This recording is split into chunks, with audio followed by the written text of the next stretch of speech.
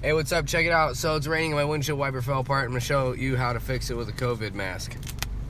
You're gonna see this from the inside, but what I'm gonna do is I'm gonna tie the blade back on at two different spots onto the metal arm. That way it stops messing up. So you'll be able to see.